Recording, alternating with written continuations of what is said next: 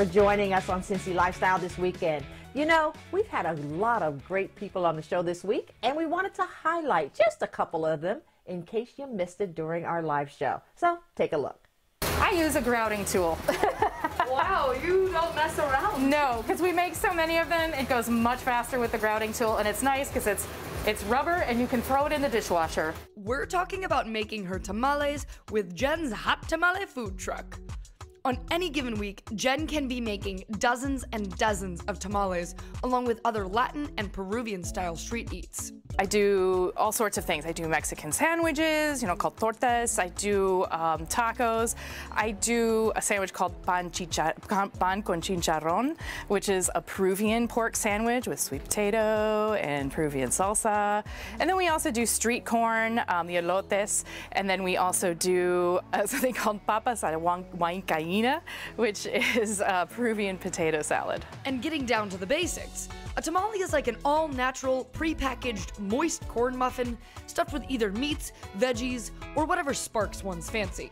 Um, I think the first thing that makes a good tamale is the batter. Yeah. So the batter has to be, um, it has to be moist, and it has to be really light. And the filling, it's all about the way you cook it and the sauce. So this is our batter, which I've made already, and you can make it easily in a mixer. I use a paddle, you can use a whisk. Um, the key to a good batter is to make sure when your batter, you think your batter is ready, put a little bit of it in some cold water and make sure it floats. If it floats, you're good to go. I do a lot of uh, research too, old recipes, new recipes, and I play play around with them a lot.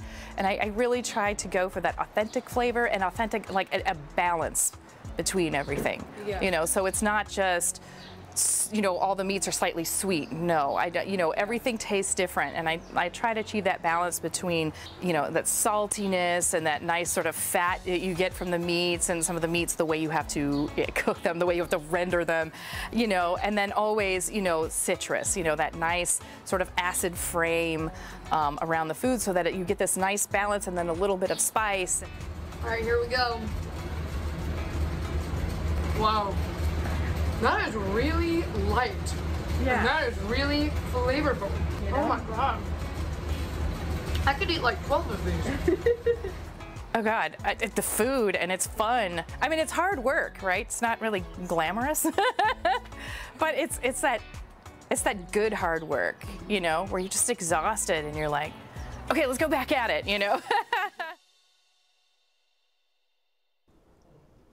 and Allie is joining us right now. Allie, you're not supposed to talk with your mouth full, but it sure looked good. they were so good. Honestly, I was not joking when I said I could eat 12 of those. Um, I definitely I've been to lunch with you, Allie, and I know you're not joking. the extra sides of cheese, the extra sides of tamale. It's okay. And the options that she gave were really awesome. I two thumbs up, truly, truly. Well, how, how'd she get her start? Yeah, good question. So she has an uh, interesting background in the sense that she's not originally from here, but the flavors in which that she was inspired by, she's from Chicago. So when you think of Chicago, um, there is a heavy Latino presence there, and they do a lot of the tamale food trucks and um, just mixing and matching with different spices in that world and dealing with and, and working in kitchens and just getting to know uh, the food there in Chicago. And believe it or not, when she added the Peruvian um, items to her menu, she was an archaeologist in Peru for quite some time. So that's kind of where she found those two collaborative flavors and uh, culinary experiences. And then she ended up moving out to Cincinnati for a job that didn't work out. And she says, hey, you know what? The cost of living is cheap why don't I start my own tamale business? Because she, because of her experience in Chicago and her inspiration that she received in Peru, so she started out as a pop-up uh, market in 2016, and it was doing well. And she decided, you know what, I'm going to start a food truck in 2019, and here we are. Okay, so Allie, first of all, you and I need to go there for lunch. You'll have to come yes. get me and take me. But but other people will also want to go. So how can people see where her food truck will be parked in the future? Yes, yes. First and foremost, check her out on her Instagram and her Facebook. That's the best way to find out. Um, you can also book her and just message her directly. She does a lot of those HOA um, setups within neighborhoods or communities. You know, there are going to be more food truck events coming up. For example, in May, there's going to be one in Loveland. She's hoping that she could spend some time there. Um, but just keeping an eye out on social media is the best way to find her. All right, Allie, you know, she has a good variety. Did you have a quick favorite? I really one like that you want to try? All well all of them. I will eat and try anything mona at least once. So the chicken one was definitely my favorite. I she makes all of the salsas herself as well. Mm. and you had the medium the mild and the really really spicy one. And that's the one that you know apply at your own risk and don't touch your eyes afterwards but it oh, still wow. was really good so i would i would try them all if i could they were genuinely really really light and really flavorful. And, um, you know, it's tough to find a good tamale in Cincinnati. So I highly recommend checking it out. All okay. right, Allie, great job as always. Thank you. Someplace new to go eat, right? Clyde? Always. Cincy Lifestyle, we'll be right back.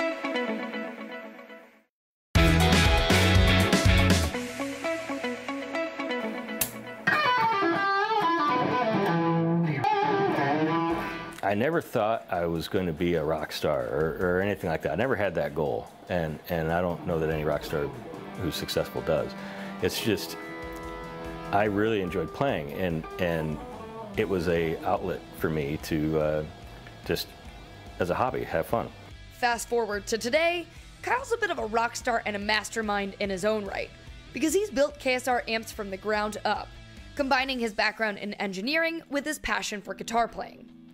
He designs and engineers every guitar amp, switch system, and mod, and will test each product after production. Which is made possible because KSR Amps controls every step of production in house and fosters an environment of innovation.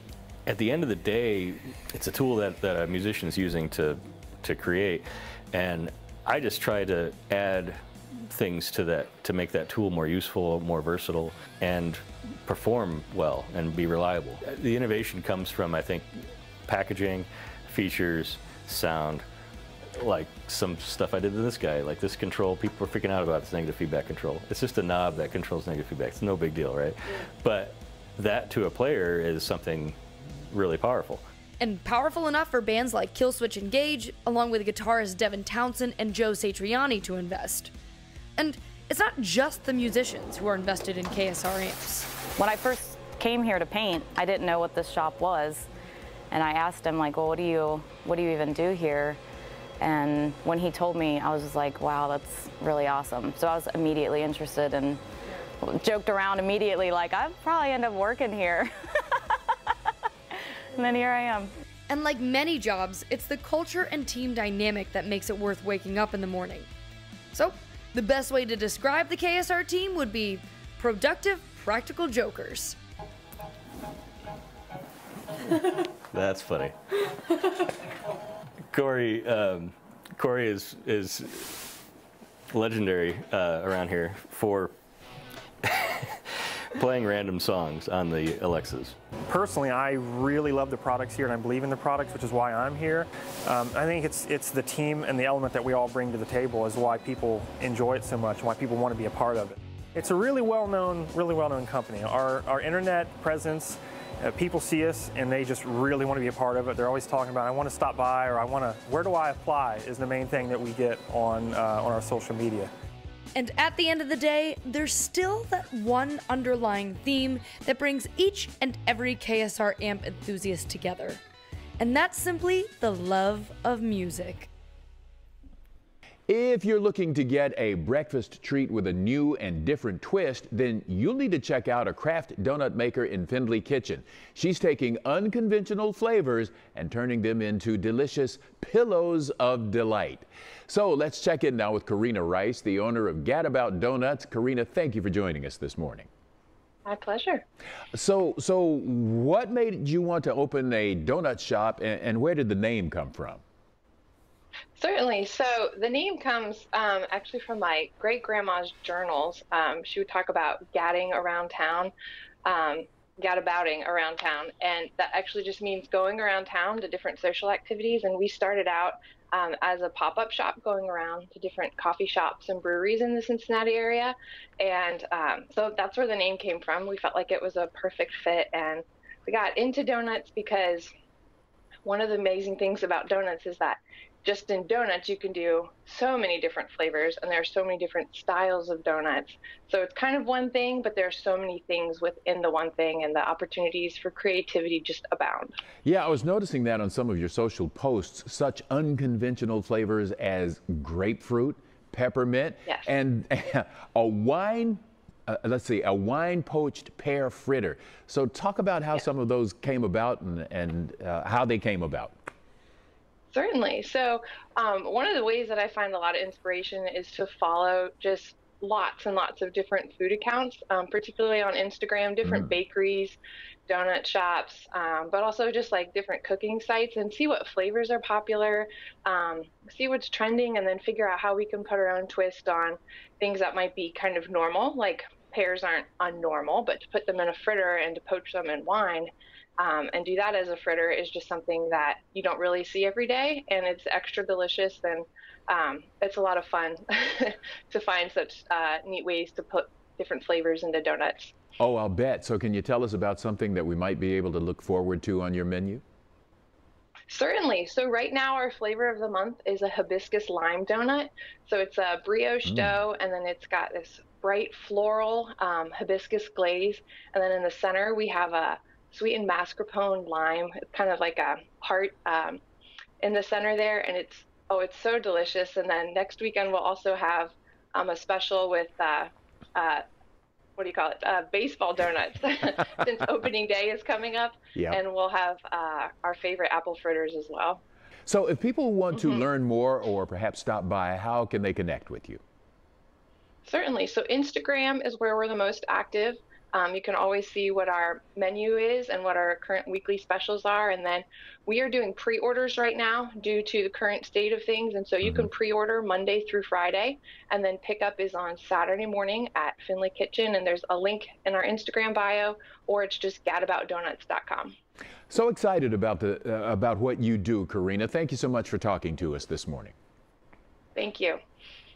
Well, our next guests know firsthand that parenting is a hard job. They're the comedic duo behind the social media account called I Mom So Hard. And now they've come out with a children's book.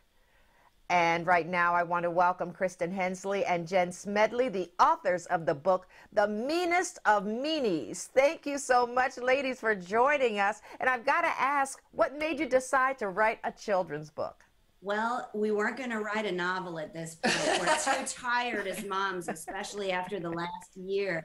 But we wanted to write something that both kids and their parents could enjoy reading. So I think The Meanest of Meanies, a book about love, kind of does that. It sneaks in a little lesson, but it's funny for everybody.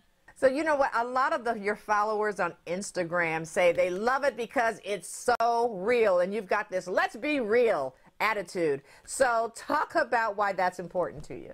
I think we always tried to approach um, using social media as a as an opportunity to be very honest about the experiences we're going through because we have found the more specific we are, the more honest we are, the more it relates to everybody. And I think that's just our effort to make everybody feel like they're not alone in this mom game.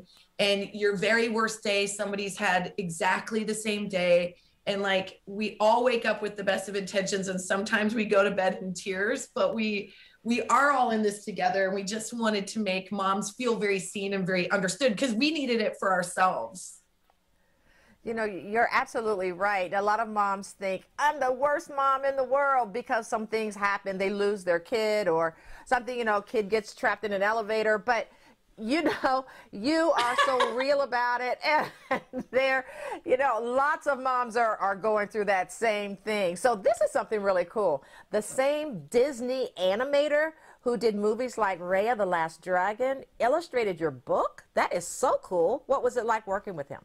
Well, first of all, it was the power of like the mom mafia because um, it was a friend of a friend and his and paul's wife is a fan of my mom so hard so it, we this was a coup It for was a us network in a of million years. yeah, in a million years, we never thought this would happen. But luckily, we, we got the opportunity to work with him. And what he did that was so special is he really listened to what we wanted to to try to convey, and then we worked really well together. Just saying like, can we make the brush of the hair look like it's pulling even longer because that mom's like walking behind her, and he would do it, and he just brought this perspective of warmth and and and joy and it could not have been a better experience. He he brought this book to life. Well, you know, this is great. It looks beautiful. So, what do you hope moms and kids take away from the book? Well, the messages that we've gotten from moms so far, which have been so fun So for us sweet. to get, have um, kind of nailed what we wanted to have happen, which is uh, they get to spend some time reading a book that makes their kids laugh. There's all kinds of little jokes about toots and stuff like that in there, and then there's all these uh, sort of higher higher level uh, understanding for the parents. Yeah, like a tongue in cheek to the mom, saying like, "Hey, we see you. We know you're trying to raise a civilized human, and that kid just thinks you're mean." yeah. But then at the end, of course, it be, is a love story. Yeah, we hope that she kind of like closes the book at the end of the night and is like, Yeah. "Yep, okay, I'm doing okay." And the kid's like, "I see what you did there. You taught me something. You taught me something, and I don't know if I like it." I have no doubt that moms and kids are going to enjoy this book, probably dads as well. So, how can people find Meanest of Meanies?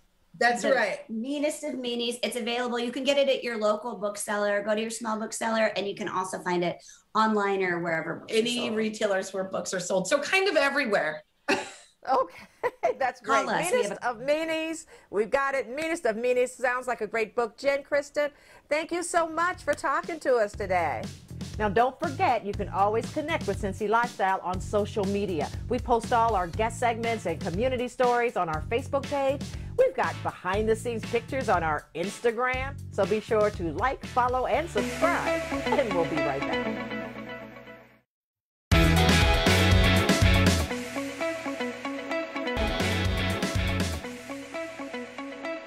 The regularly scheduled 8 p.m. train on the Ohio and Mississippi Railroad left Cincinnati bound for St. Louis on May 5, 1865. There were four passenger coaches, a baggage car, and an Adams Express Company car carrying cargo and freight. More than hundred passengers were on board. Just 17 miles from Cincinnati, near the village of North Bend, the conductor, Mr. Shepard, saw that the rail lines up ahead had been destroyed, but the train was moving too fast. He could not stop the locomotive before a catastrophe. As the train derailed, the engine, baggage, and Adams' car flipped onto their sides, badly damaged. The passenger cars plowed into the mess but stayed upright. The poor travelers, shaken from the horrifying crash, had no idea what lay in store. Almost immediately, they heard shouts, quote, Don't move or you'll have your brains blown out, close quotes, followed by a volley of gunshots. Two armed men entered each car with two more outside guarding the perimeter. One newspaper reported, quote, while everything was wild with confusion, the desperados entered and with vilest oaths demanded the money and valuables of the passengers, close quote. A soldier returning from the Civil War had $300 stolen. Another man lost his gold watch and $500 in cash. While the terrified passengers were busy handing over their valuables, the real target of the attack was the Adams Company car. Using an axe, five bandits dragged three safes out into the open and used gunpowder to blow off their doors. Inside, they discovered $30,000 in bonds worth about $7 million today. All told, there were about 20 bandits involved in the Great Train Robbery, the first train robbery in American history. Almost as quickly as they pulled off the attack, the robbers slipped onto skiffs and made their way across the Ohio River and into Kentucky. In the Bluegrass State, they stole several horses and headed into the central part of the Commonwealth. Because of the precision and planning that it took to pull off the attack, investigators speculated that the bandits may have been angry Confederate guerrilla soldiers who did not accept the South's recent surrender only a month earlier. They were armed with Navy revolvers, which lent to the hypothesis, as did their retreat into the Kentucky hinterland. Although they were all dressed in civilian clothing, passengers heard one bandit addressed as lieutenant and another as captain. Well, as soon as the authorities heard of the great train robbery, militia and cavalry units were dispatched from Cincinnati, Covington, and Louisville. The men were never captured, which led many people to speculate that it wasn't the work of guerrillas, but instead soon to be legendary outlaws such as Jesse and Frank James or the Reno Gang. The Reno Gang later became infamous for committing a string of train robberies across the Midwest through 1868. Although hundreds searched for the gang, it was as if they had vanished into thin air. And appearing right now before your very eyes is the man who unearths these dark mysteries, cultural historian Bob Batchelor. Bob, thanks so much for talking to us this morning. Thanks, Clyde. So let's talk a little bit about the uh, ramifications, if you will, of this first train robbery. What happened because of this? Well, amazingly, you would think these dastardly deeds would go down in the the annals of history as something bad, but absolutely the opposite happened. People romanticize train robbery. And so for a hundred years, we have movies and films, and then later television shows, everything from the first blockbuster, The Great Train Robbery in 1903, through um, Bonnie and Clyde stories and Butch Cassidy and the Sundance Kid. Everybody loves these stories. And so I started to think, are there still train robberies today? And it's a be- unbelievable number. $30 billion is still stolen through cargo wow. and freight to this day. So we don't romanticize it, but it's still a heck of a story and, and a big problem for law enforcement. And, and I'm guessing those robberies don't look exactly like the ones that we, that we traditionally think of. Yeah, I don't think you and I are going to go out and get on any horses with uh, pistols anytime soon, Clyde. No, I, I know that for sure for, in my case. So let's talk about North Bend for a moment because that seems to be a community with a lot of history attached to it. So, what else can you tell us about the village? Yeah, can you imagine this little small town, this first train robbery in American history? But it's also was founded by a guy named Sims who was a Revolutionary War hero and land speculator. He was uh, the father-in-law of William Henry Harrison, the the famous president who only lived for 41 days in office, maybe most famous for Tippecanoe and Tyler too, but then also the grandson of Benjamin Harrison. So this little town is the birthplace of two presidents and local history buffs can see all kinds of, of Harrison history. And in Miami University, which Harrison, uh, Benjamin Harrison, graduated from. So there's a lot of local history. When it's safe to travel again, North Bend would be a really interesting little place to check out. All right, that's great. That's great. Bob, thanks so much. We appreciate you stopping by this morning. Have a great day, Clyde. Thank you, sir. You too.